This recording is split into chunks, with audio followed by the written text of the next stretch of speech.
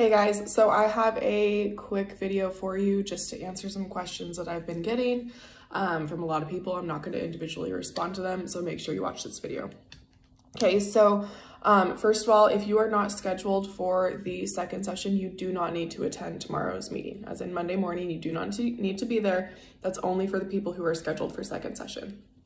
As far as the training goes tonight, that is also optional. You do not need to be there. It is open to anyone um, no matter what session you're teaching. But those of you who I've assigned to teach parent tot this session, you know who you are, you definitely need to be there.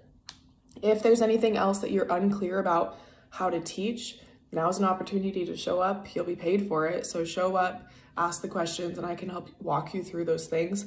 So things like dives, um, a lot of people are not confident in doing dives, and so they can't teach dives. So show up and I can teach you, and then you can be more confident teaching.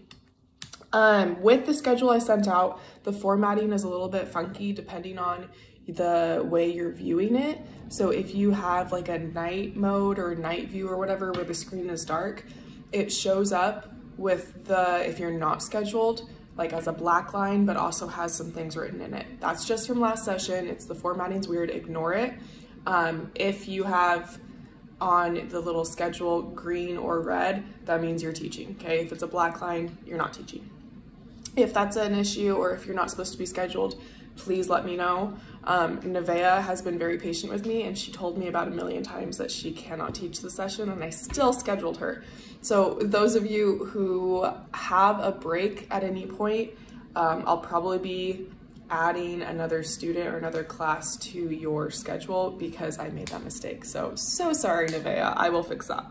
Um, with the schedule, a couple of questions have been about um, the P. So if it says P4, P3, P whatever, it means that you're teaching a private lesson, okay? Um, so it's just that one kiddo, so scroll down to the bottom of the email and the, the level and the student's name is listed for that private lesson. Everybody else, you'll learn who your kids are tomorrow. Remember, we're doing something slightly different as in we're gonna have all of the kids together in a level and then you're gonna kind of pre-assess them, see where they're at, and then divide them up between the instructors based on um, kind of ability wise. It doesn't mean you need to change them levels. It might be like we have some higher level threes and some lower level threes, but they still fit in the level three category, so we just divide them up, okay?